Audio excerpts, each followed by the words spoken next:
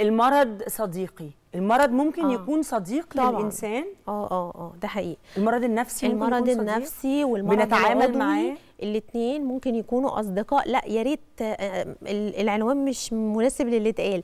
المرض صديقي مش حاجة حلوة. آه. ده المريض الهستريونيك أو اضطراب آه، اللي هو عنده اضطراب الشخصية الهستيرية. طول الوقت هو في نوعية بتبقى ماسكة جدا في المرض لأن هي دي الطريقة اللي بتخلي الناس تشوفه. فهو ما بيخفش.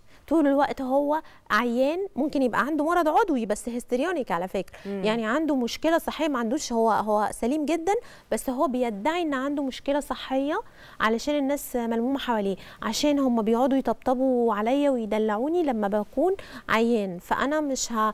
مش هخرج من المرض عشان أفضل واخد ال attention والأطفال بتعمل كده كتير مم. الأطفال تع- يعملوه عادي اللي مش عادي إن العملية تكبر لحد ما بقى عندي مثلا 30 سنة أو 20 أو 40 ولسه أنا بستخدم نفس الأسلوب بت- ال- بتاع الأطفال ده عشان أجذب الناس.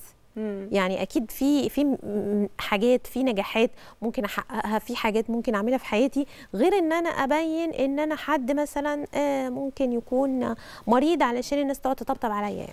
آه آه في الحب موضوع البحث العلمي؟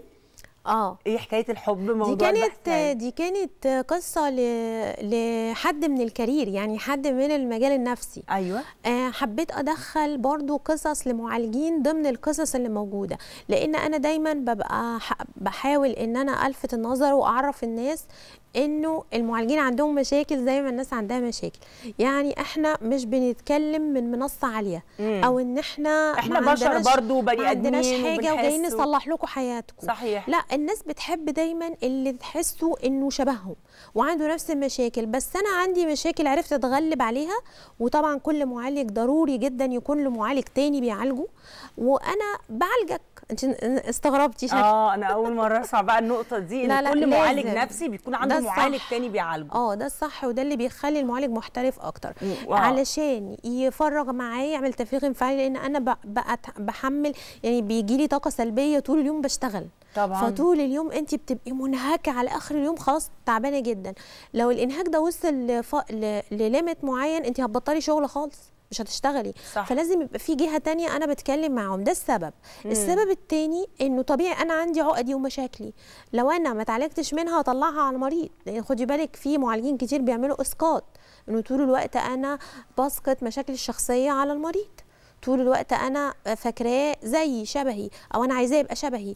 لا لو أنا اتعالجت كويس وعرفت مناطق ضعفي مش هسقط حاجة على المريض.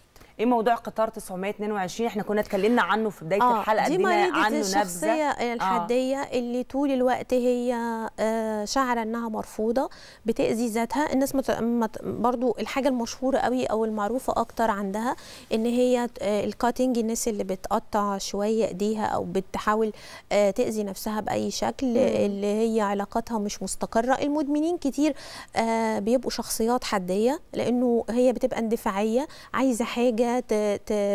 آه، تحسسها إنها موجودة دلوقتي حالا. ما عندهاش استعداد تصبر على mood الملل أو الفراغ أو الأريافة. فهي تحت البند ده بتعمل حاجات كتير مؤذية لنفسها. ممكن تاكل أكل بشكل عنيف جدا ممكن آه، تعمل آه، تشرح جسمها بقطر أو تعمل حاجة. ممكن يبقى تعمل علاقات آه، جنسية غير. آمنة. آه. تدخل في علاقات مؤذية. ممكن إنها تدمن حاجة أو تاخد أي حاجة مخدرة تأذيها برضو. هي دي دي ده الفرق بقى بين الشخص العادي اللي ممكن يستحمل الشعور بالملل أو بالفراغ ده وبينها لأن الفراغ عندها بيبقى داخلي وعميق جدا okay. فهي اندفاعاتها ما بتبقاش محسوبة ومحتاجة محسوبة. محتاجة سيطرة طيب نتكلم عن الغلاف واختيار okay. حضرتك للتصميم okay آه الغلاف آه، أقول الاسم بتاع ال- المصمم. المصمم اتفضل. محمد آه، سليمان آه محمود سليمان محمود آه سليمان هو بيعجبني جدا التصميمات بتاعته على فكرة هو أنا ما كنتش عرفته الأول ك كمصمم لكن كان من أصدقائي على السوشيال ميديا وكنت بشوف التصميمات بتاعته كلها لها بعد psychological آه. بعد نفسي فكانت بتعجبني جدا لأن أنا بحب ال art جدا بحب الفن وبحب ارتباطه بالعلم علم النفس فطول الوقت أنا بتابعه فعمل حاجات كويسة جدا وعجبتني فقلت له بقى يصمم لي حاجة لذيذ. زي شيزلونج تبقى فيها برضو تلفت النظر للي جوه آه. آه، رموز لاضطرابات معينة okay. هي مش أي حد يفهم الغلاف على فكرة لأن لو دققتي فيها تلاقي إنه بيرمز لاضطرابات كل دايرة من الدوائر بترمز لاضطرابات يعني